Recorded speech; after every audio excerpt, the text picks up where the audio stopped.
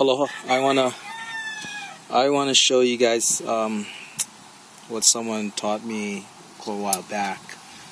What this is is a dowsing rod uh, made out of a wire hanger. Um, I'm digging a house. I'm doing some excavation here for a house, and I had the utilities mark out these uh, these utilities one thing when you're digging, you don't want to be caught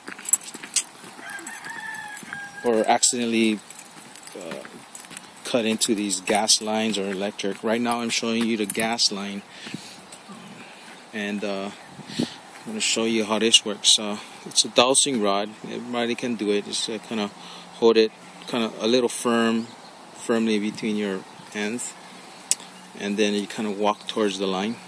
And it should turn. See how it turns like that?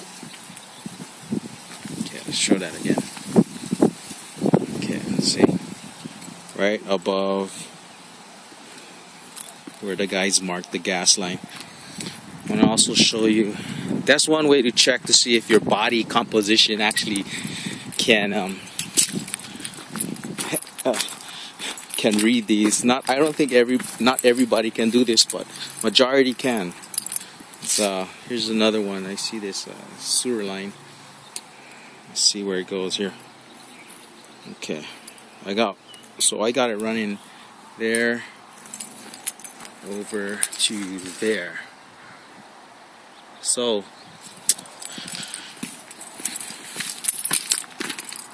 I can find all kinds of lines: water, electric,